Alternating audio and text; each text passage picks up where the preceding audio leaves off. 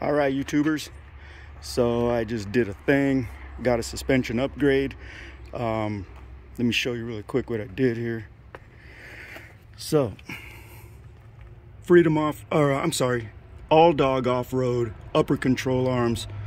And i got a one inch spacer uh, that's inside here. I got a one inch spacer to put on top of the Radflos. The Radflos are 2.5 but i basically have them set at like two and a quarter and so running two running actually a three and a quarter inch lift up front.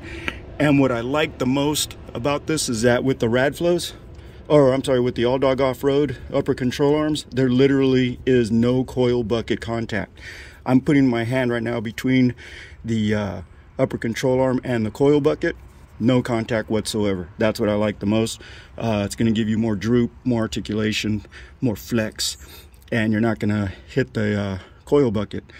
So really pleased with these. As you can see, there's no coil bucket contact. This is my hand right here. Um, I mean, I already shaved off the lip from my previous upper control arms. Uh, I was running Freedom off-roads and those worked out really well. I really liked them. Um, they were really cheap. I got them for like $369 and uh, yeah, they worked out really well. But excuse me, but I had to shave the coil bucket. But now that I got the All Dog Off-Roads, uh, I got these for $489 and they pressed in the, uh, the bushings.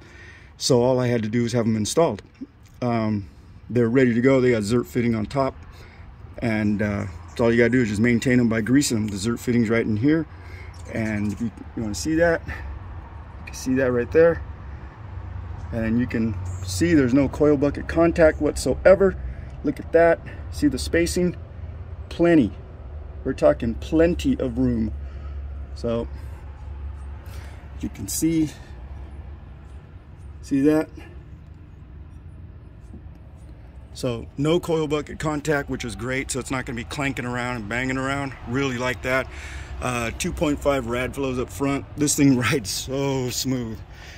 And uh, in the rear